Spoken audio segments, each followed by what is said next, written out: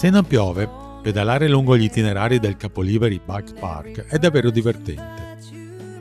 I pendii che circondano la cima del Monte Calamita, che supera di pochi 400 metri di quota, sono percorsi da un intreccio di stradine e sentieri che permettono di sbizzarrirsi e personalizzare a proprio piacimento le tracce che il parco propone.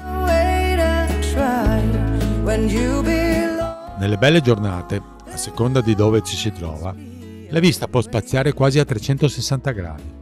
Da est si ammira la costa della Toscana fino all'Argentario e a seguire le isole dell'arcipelago toscano del Giglio, di Montecristo e Pianosa, fino ad arrivare ad ovest alla costa orientale della Corsica. Gli itinerari partono più o meno tutti dal bellissimo borgo medievale di Capoliveri, che sorge arroccato sulle pendici del Calamita a quasi 200 metri di quota. Dal paese, pedalando verso est o verso ovest, si scende verso le spiagge, mentre verso sud si punta al parco e alla cima della montagna.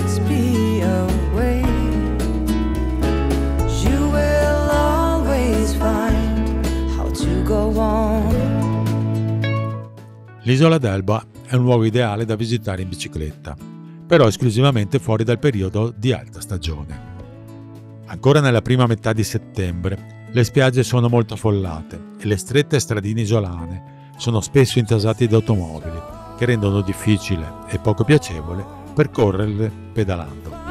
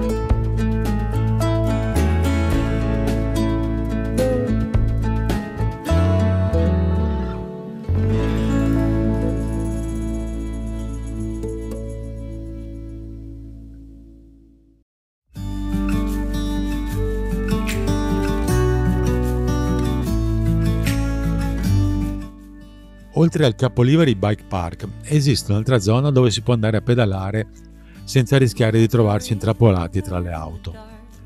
Nella propagine a nord-est dell'isola che punta verso Piombino, basta lasciarsi alle spalle Porto Azzurro e dirigersi verso nord per trovarsi in un territorio alquanto selvaggio e poco antropizzato.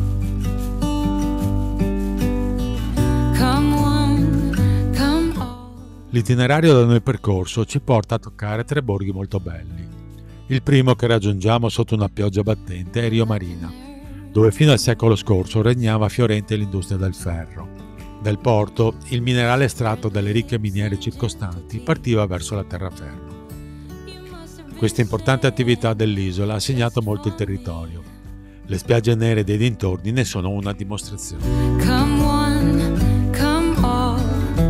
Lasciate Rio Marina non senza aver prima assaggiato alcune prelibatezze e una caratteristica osteria del porto, una bella strada lungo la costa ci porta a Cavo.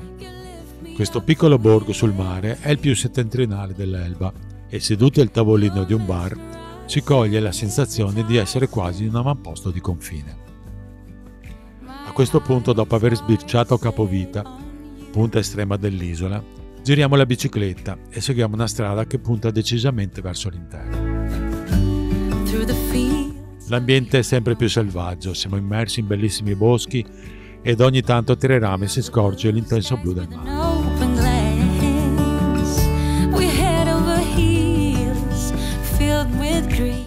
Dopo alcuni chilometri compare in mezzo al pendio il paese di Rio nell'Elba. Questo antico borgo risale addirittura all'età del bronzo e molte tracce raccontano il suo passato. Anche qui inoltre esisteva un importante centro per l'estrazione del ferro. E alcune foto storiche esposte lungo le antiche vie del paese lo ritraggono con le mura completamente nere per la vicinanza delle miniere. Lasciato anche questo borgo, con una ripidissima salita arriviamo in vista del Volterraio. Le rovine di questa fortezza eretta dagli Etruschi si trovano in cima ad una roccia a quasi 400 metri di quota e dominano questa parte dell'isola. È sicuramente la struttura difensiva più antica dell'epoca.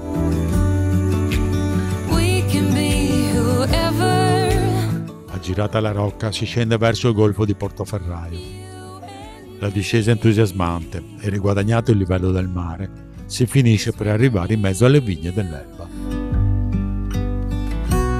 You said sail and navigate